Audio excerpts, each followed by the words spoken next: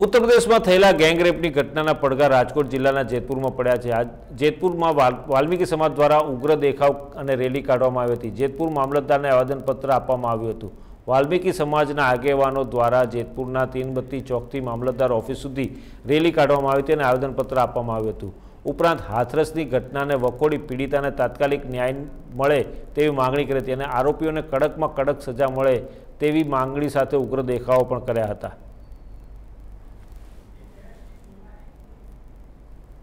પંદર દિવસ પહેલાં. અને એના પછી એની મૃત્યુ થઈ ગઈ છે. પોતાની જીભ કાપી નાખવામાં આવી હતી મનીષા વાલ્મીકીની. એનું કરોડરજ્જુ પણ કાપી નાખવામાં આવ્યું હતું. અને કાલે તેનો મૃતદેહ સળગાવ્યો, મૃતદેહને અગ્નિદાન દેવામાં આવ્યું, પણ તેના ભાઈ કે તેની માતા, તેના પિતા કોઈને પૂછ્યા વગર તેનું અગ્નિદાન આપવામાં, અગ્નિ સંસ્કાર કરવામાં આવ્યું છે.